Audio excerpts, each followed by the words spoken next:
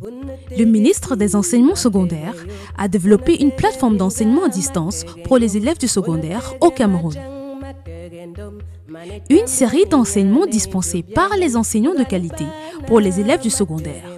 Apprendre n'a jamais été aussi simple avec l'enseignement à distance. Une initiative du ministère des Enseignements secondaires sous la supervision du professeur Nalova Lyonga en collaboration avec le ministère des Postes et Télécommunications, la CAMTEL, la CRTV et l'UNESCO. Nous introduisons l'enseignement à distance comme une autre méthode d'enseignement et d'apprentissage qui diffère du cadre de classe traditionnel auquel vous êtes habitué. Dans le mode d'enseignement à distance, vous n'êtes pas avec l'enseignant en personne, alors prenez votre temps, détendez-vous, écoutez l'enseignant, prenez des notes et visitez les liens suivants pour toute question ou réponse à vos préoccupations. Allez-y à votre rythme. La solution du Cameroun contre le Covid-19 et au-delà. Professeur Nalova Lyonga, ministre des Enseignements secondaires. Bienvenue à cette séance d'apprentissage. Je suis Tafedi Saha Collins, enseignant de génie chimique. Je suis également votre tuteur dans les cours de génie des procédés enseignés dans les classes de première F6. Nous allons donc vous présenter le programme, le sommaire lié au programme de notre cours.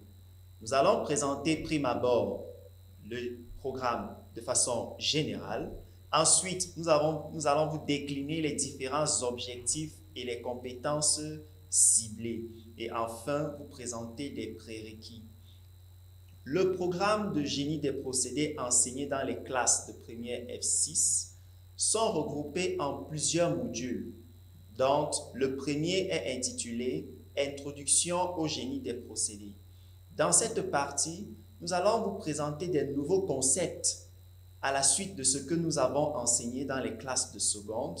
Ensuite, nous allons présenter le second module qui porte sur les mélanges. Là, nous entrons en plein fouet dans la technologie proprement dit. Donc, le deuxième thème est intitulé les mélanges. À la suite de cela, nous allons vous présenter la technologie des transporteurs. Quels sont les différents appareils utilisés pour transporter la matière. Vous vous rappelez que nous en avions trois états principalement, l'état solide, l'état liquide et l'état gazeux. Donc cela se fera en cinq présentations. À la suite, nous avons le module 4 qui est intitulé le traitement et épuration des eaux qui se fera en quatre présentations. Dans cette partie, nous allons aborder les différents procédés liés au traitement des eaux d'une part et lié à l'épuration des eaux d'autre part. Nous allons donc établir la nuance qu'il y a entre le traitement et l'épuration des eaux. Le cinquième thème est intitulé Technologie des séparateurs. Dans cette partie qui, porte cette présentation, qui comporte cette présentation, nous allons présenter les différents appareils utilisés pour séparer. Quand on dit séparer, c'est isoler un élément d'un autre. Donc, en fonction de l'état physique de la matière, nous aurons donc des séparateurs que nous allons étudier, beaucoup plus les séparateurs utilisés en, en entreprise. Nous allons donc aborder le sixième thème qui est intitulé Schéma de procédé de transformation, qui se fera en trois présentations. Dans cette partie, nous allons voir une série de produits, de bioproduits et comment on obtient ces bioproduits? C'est de ça qu'il sera question. Et qu'est-ce qu'on constate? On constate qu'il y a un nouveau concept qui est intitulé schématisa, schématisation. Ce qui renvoie donc notre cours de génie des procédés dans la classe de première, que nous allons beaucoup plus nous axer sur la technologie et sur les schémas. Le septième thème est intitulé Fragmentation des particules. Dans cette partie qui comporte deux présentations, nous allons voir les différents appareils qui sont utilisés pour diminuer la taille des particules ou plutôt pour les augmenter. Nous allons continuer avec le huitième thème intitulé Production des textiles et papiers qui se fera en deux présentations. Dans cette partie, nous allons voir d'une part le procédé d'obtention des produits textiles et d'autre part, le procédé d'obtention du, du papier.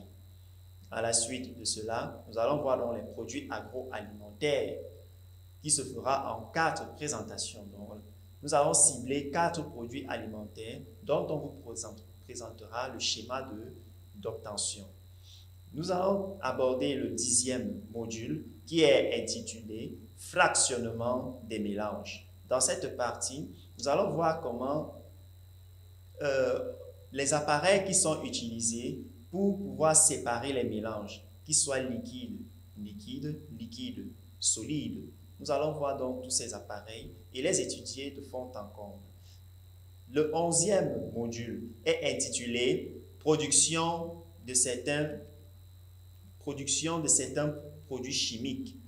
À l'intérieur, nous, avons, nous allons recenser un certain nombre de produits chimiques, notamment les hydrocarbures, notamment les caoutchoucs, que nous allons détailler le processus d'obtention. Et cela se fera en neuf présentations. Et enfin, nous allons achever notre programme avec la technologie de, chauffage. Donc, nous allons étudier ici un ensemble d'appareils utilisés pour le chauffage ou bien le transport de chaleur dans les industries. Sans plus tarder, nous allons présenter les objectifs et les compétences ciblées. À la fin de ce programme ou de ce cours, l'apprenant sera capable de schématiser un procédé de synthèse ou de transformation.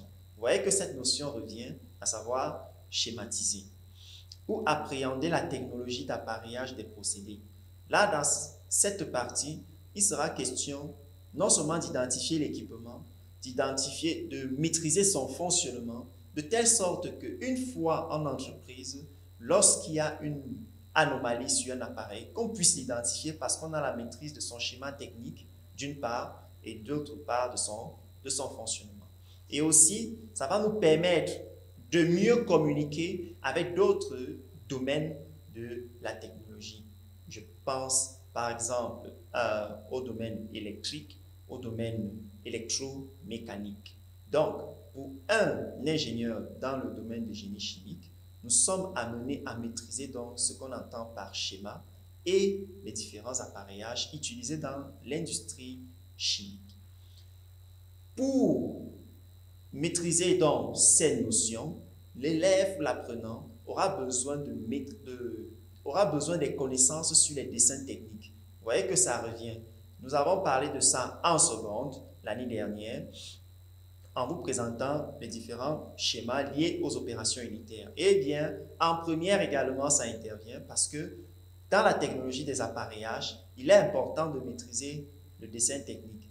Les états de la matière également, nous l'avons évoqué plus haut, ainsi que leur transformation, parce que c'est la transformation de la matière qui peut nous orienter sur le type d'équipement qui est utilisé sur un appareillage et enfin les opérations unitaires que nous avons déroulées durant tout notre cursus en seconde. Nous allons donc aborder le tout premier module qui est intitulé Introduction au procédé. Il est présenté sous un sous-thème intitulé Vocabulaire et notation. Bien entendu, c'est un nouveau cours pour les classes de première, donc il est important de connaître le vocabulaire utilisé et les annotations. Et cela sera subdivisé en deux principales leçons. Donc, la première est la notion de schéma en procédé et la seconde, qui se fera en deux présentations, est intitulée Les symboles utilisés en procédé.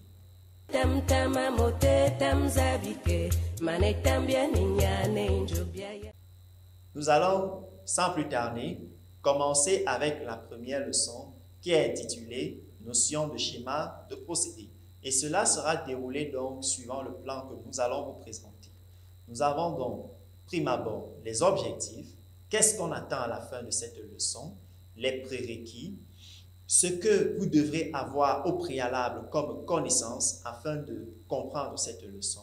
Nous allons donc vous présenter une situation problème à partir de laquelle nous allons dérouler donc la leçon du jour afin de vous ressortir la quintessence de ce que nous voulons que vous puissiez acquérir. Vous présentez un exercice d'application et vous donnez enfin le devoir pour pouvoir vous exercer à la maison.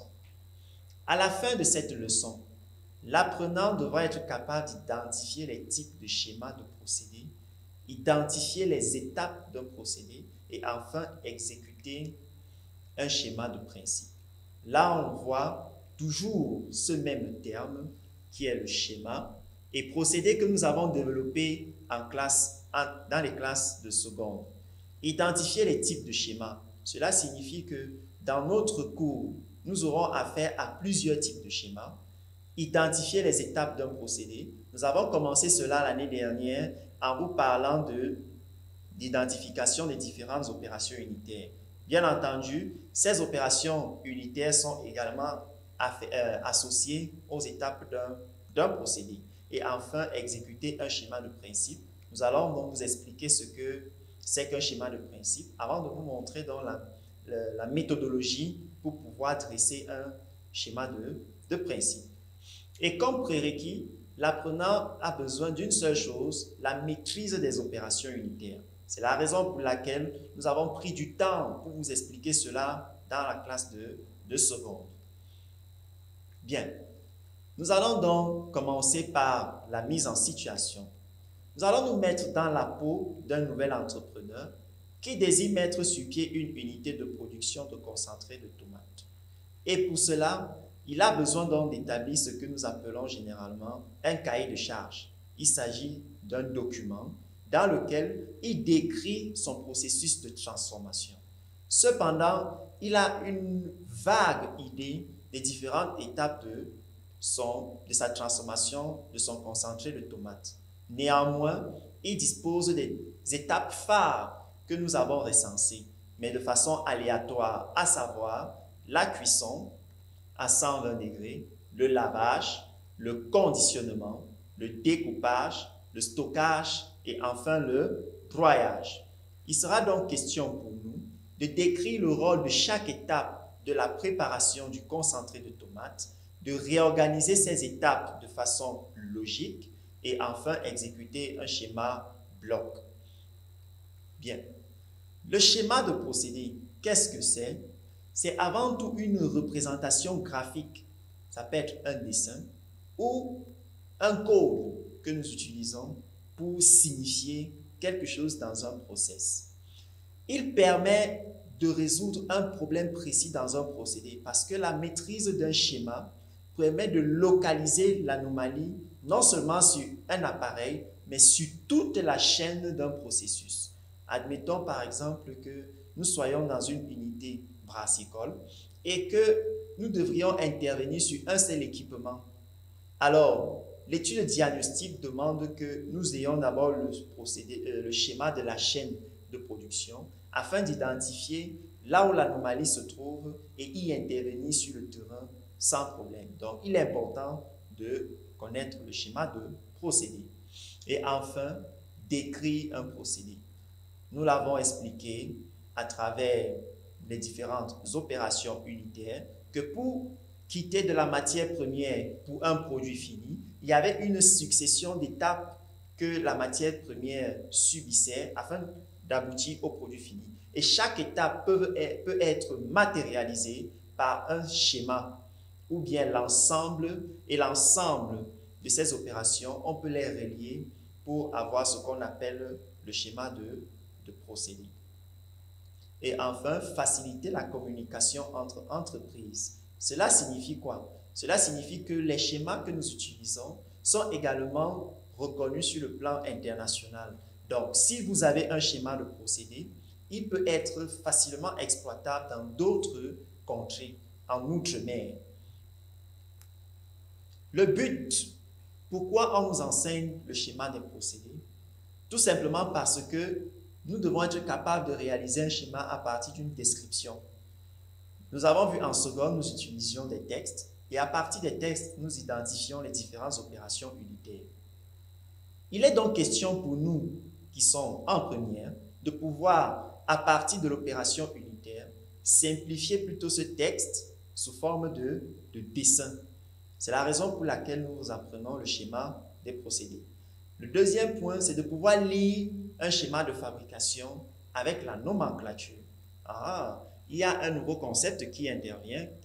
Il s'agit ici de la nomenclature. Cela signifie quoi? Cela signifie que tous les schémas que nous utilisons ont des codes et sont normés. C'est la raison pour laquelle il peut faciliter la communication avec d'autres d'autres entrepreneurs des autres pays et enfin faire une certification. Nous avons pris le cas de l'entrepreneur qui voulait mettre sur pied une unité de production de tomates. Et pour cela, dans son cahier de charge, il doit être capable de décrire succinctement son procédé pour que ce soit valide.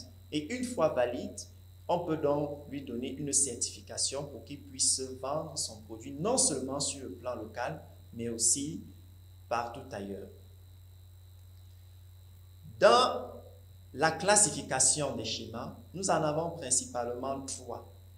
Le premier étant le schéma de principe, le second étant le schéma de circulation des fluides, et enfin le troisième étant le schéma des détaillés. Nous allons les voir au cas par cas. Pour le schéma de principe, on l'appelle encore schéma en bloc ou block diagram en anglais. C'est un schéma qui représente les entrées et sorties de matière ainsi que les opérations unitaires. Ce qu'il est important de noter ici, c'est que toutes les opérations unitaires sont reliées entre elles et les opérations unitaires seules sont inscrites dans un schéma de principe. Le schéma de principe, son, montage dépend de l'étendue de du procédé, ce qu'il faut également noter. Les différentes caractéristiques associées à un schéma de principe sont les suivantes. Nous avons dit tout à l'heure que les schémas, euh, seules les opérations unitaires étaient présentées. Mais dans quoi? Dans un rectangle. Donc, les opérations unitaires sont inscrites dans les rectangles et chaque opération unitaire est reliée par une flèche. Ce qu'il faut aussi ajouter, c'est que même la matière première, puisque nous avons expliqué tout à l'heure que un schéma en bloc indiquait les entrées et les sorties de matière. Ces entrées et sorties de matière sont, aussi matérialisées par des flèches, ce qui signifie que s'il y a une entrée de matière première dans une opération unitaire, nous allons associer la matière première et l'opération unitaire par une flèche entrante dans l'opération unitaire. Et enfin, les produits et les sous-produits sont soit dans un cercle ou soit pas encadrés du tout. Cela signifie quoi?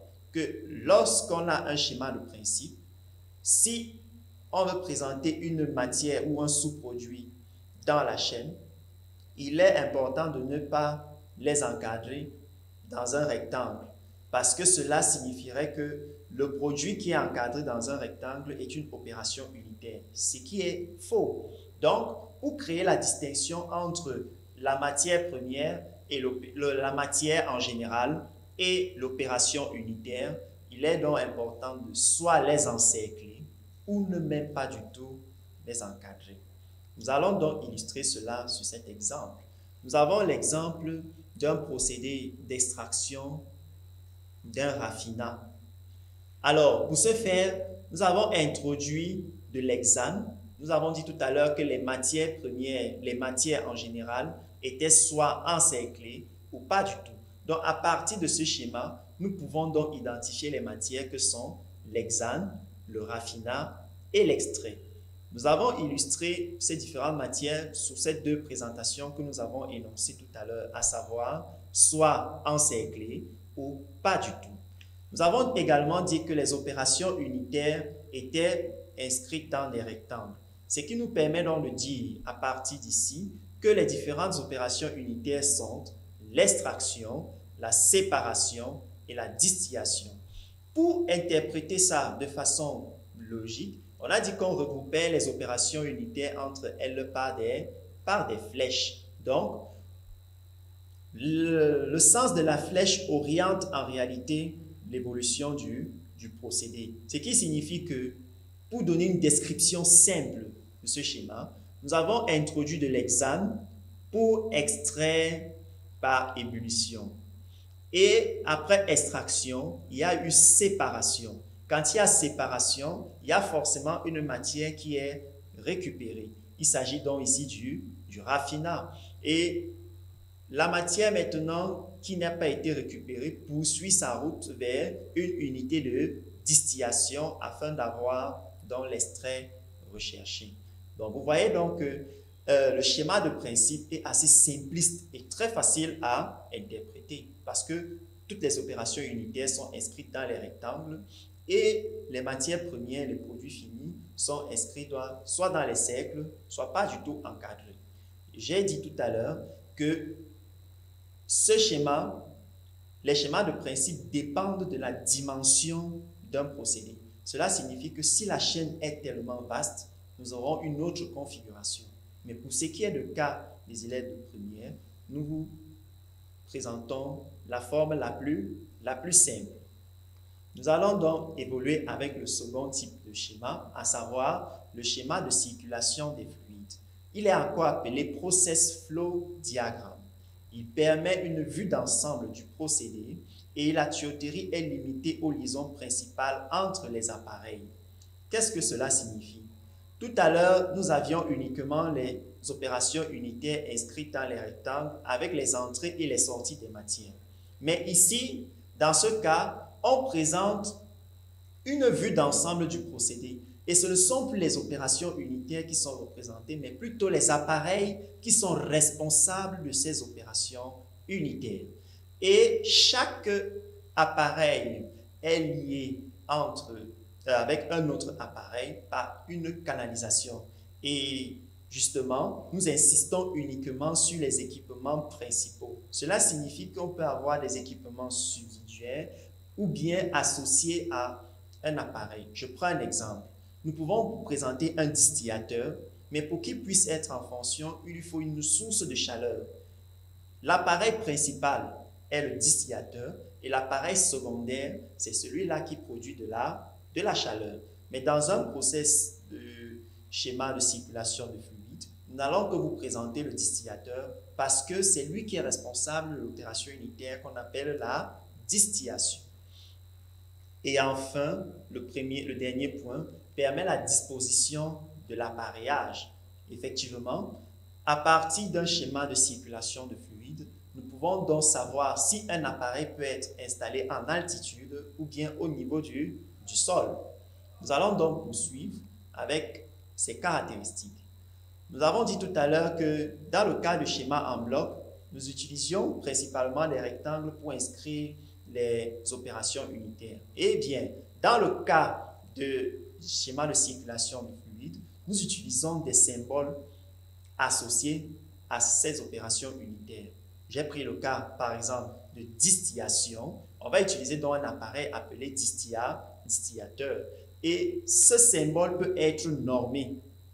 Nous verrons dans la suite ce que nous entendons par symbole normé. Il présente également le flux entrant et sortant avec leur débit. Nous allons voir tout à l'heure dans un exemple tout ce que nous, nous, présentons comme caractéristiques et à la fin les vannes et les pompes essentielles. Pour expliquer donc toutes ces caractéristiques, nous avons ici en face un exemple de schéma de, de circulation de fluide.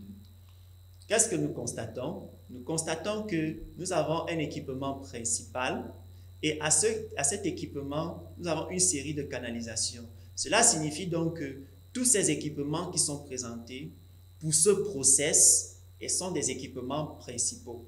Nous avons dit que ça indiquait les entrées et les sorties. Qu'est-ce qu'on constate?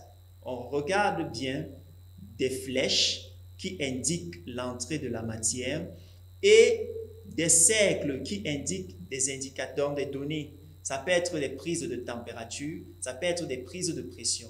Donc nous avons donc ces flèches qui indiquent donc les entrées des matières.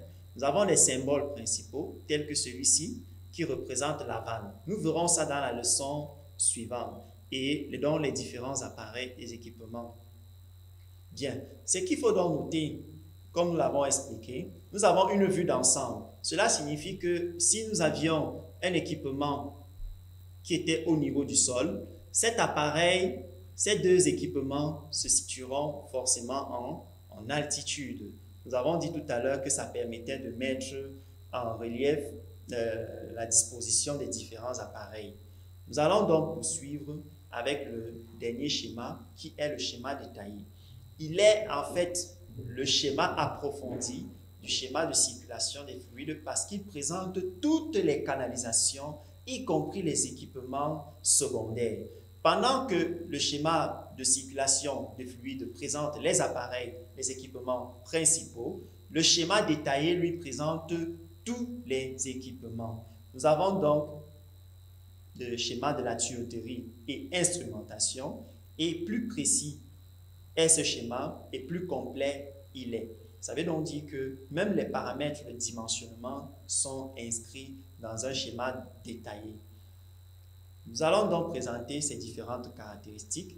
Nous pouvons citer entre autres l'ajout des éléments de contrôle, des armatures, des données opératoires de dimensionnement et d'équipement, les positionnements des équipements, tout comme le schéma de circulation de fluide et les données sur l'isolation et le chauffage des équipements. J'ai pris l'exemple d'un distillateur qui, pour fonctionner, avait besoin d'une source de chaleur. Maintenant, quelle est la disposition de cette source de chaleur par rapport au distillateur? Eh bien, le schéma détaillé nous permet donc d'avoir sa position par rapport à, l'appareillage qu'est le, le distillateur. Nous avons donc un exemple ici dans lequel nous constatons qu'il y a des paramètres de dimensionnement par rapport au niveau du sol. Nous avons donc tous les équipements reliés à l'équipement principal. Nous avons également une connaissance sur ce qui se passe même à l'intérieur de l'appareil et l'agencement de chaque équipement. Là, nous avons les prises de données liées à la circulation de la matière dans le réacteur.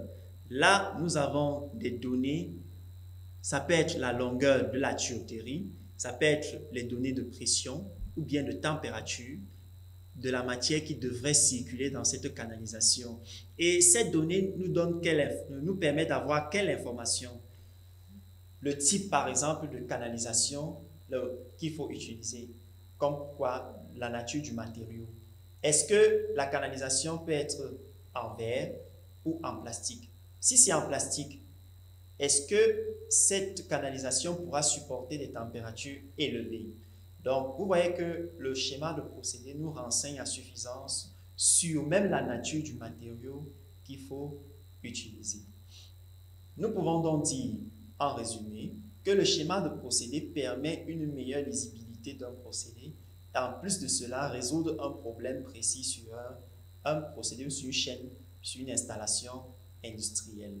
De plus, nous avons un tableau récapitulatif qui permet de mettre les, différentes, les différences entre ces, entre ces schémas.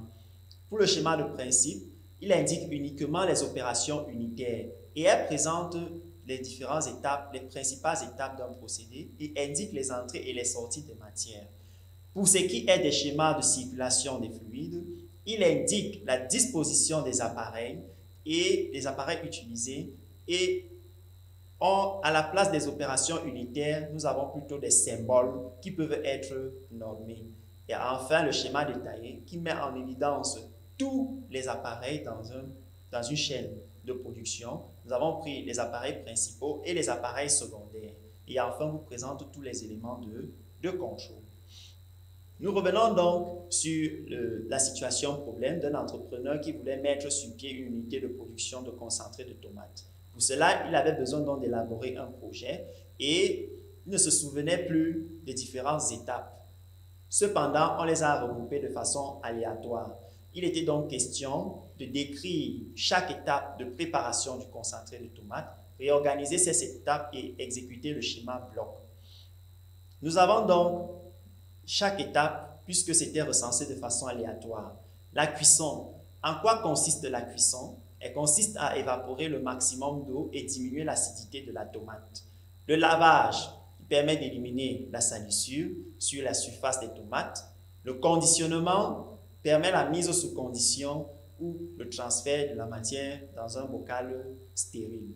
Le découpage permet la réduction de la taille des tomates et le stockage, la conservation du produit final dans un magasin. Le broyage permet la réduction de la taille de la tomate jusqu'à obtention du jus de, de tomate. Alors, pour réorganiser ces étapes, il est donc important que lorsqu'on récupère les tomates, la première opération, c'est d'éliminer les salissures à la surface de ces tomates. À travers quoi? Le lavage. Une fois le lavage fait, ces tomates doivent être découpées en morceaux afin d'être broyées. Et le produit du broyage maintenant subit une cuisson à 120 degrés afin d'être conditionné et stocké.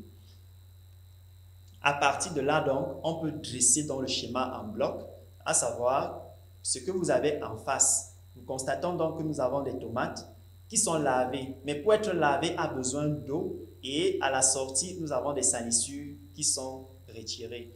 Les tomates donc lavées subissent un découpage suivi d'un broyage et ensuite une cuisson à 120 degrés afin d'être conditionnées pour être stockées. Le devoir donc que nous vous donnons est le suivant. Dans le processus de fabrication du savon de ménage, la matière grasse et la solution de soude sont introduites en même temps dans un réacteur dans lequel il y a saponification à 120 degrés. Nous avons appelé ça l'empattage. Après cela, on soutient la glycérine obtenue qui a rejoint le fond de la cuve qu'on appelait ici réacteur. La pâte de savon obtenue est ensuite portée à ébullition. Au cours de cette opération, on rajoute une quantité de soude pour garantir une réaction complète de la matière grasse. La pâte cuite obtenue, plus ferme, est lavée plusieurs fois à de l'eau salée pour relaguer les excès de soude et les impuretés d'huile. Ainsi, la pâte résultante est laissée au repos et puis lavée à de l'eau pour éliminer le sel et rendre le savon plus lisse. La pâte lisse est coulée dans un malaxeur où elle est parfumée, colorée et mélangée à tous les autres ingrédients. Le mélange donc homogénéisé est raffiné dans des boudineuses pour parvenir à une texture uniforme. La pâte donc solidifiée sera découpée en pain à l'aide d'un couteau pour obtenir des cubes de, savon. Alors, les, les cubes de savon obtenus sont rangés sur des clés pour être séchés ensuite moulé en continu. Au cours du moulage, les savons sont marqués et estampillés. Il sera donc question dans ce travail d'identifier d'abord toutes les opérations unitaires, comme on vous l'a appris en seconde, et exécuter un schéma de principe associé à ce procédé. Pour enrichir vos connaissances, vous aurez besoin, vous pouvez consulter le document de la norme International Standard Organization, en abrégé ISO 10628 1997. Notre prochaine leçon portera donc sur les symboles utilisés en procédé. À la prochaine. unatege si matege yop. Unatege minga matege nyum. Unatege majang matege ndom. Manetambia ninyane yen. ngani bana matege mot. Ngani lakiri watege ndong. Esokina bia dinkido manetambia ninyane tam tamtama mote tamzabike Tam tama tonge tam zabike Tam tam tama mote tam zabike. Manetambia ninyane injobiayen